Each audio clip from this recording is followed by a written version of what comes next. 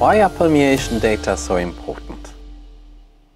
When it comes to the protection against liquid chemicals, the type cabin tests only measure the repellency against blue-colored water.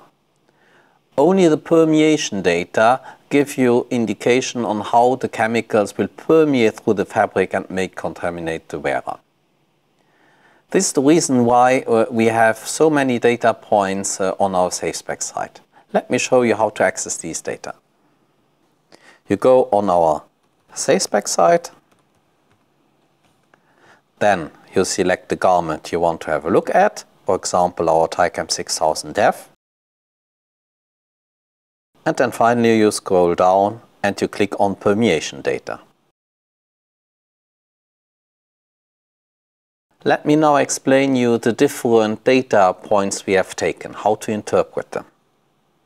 The first column you see is BT actual. BT actual stands for actual breakthrough time.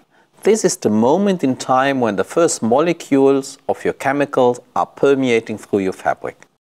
Next column, BT 0.1, stands for the moment in time when you have reached a permeation rate of 0.1 microgram per square centimeter per minute.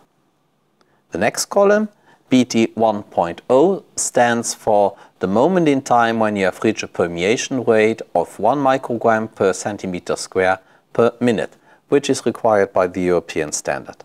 The next column, SSPR, stands for the steady state permeation rate, which is the highest level of permeation rate you can get. And then finally, the last column, MDPR, which is the measurable permeation rate. This is the lowest level of permeation rate your equipment may possibly detect. So in the case of acetaldehyde, this is 0.06 microgram per centimeter square per minute.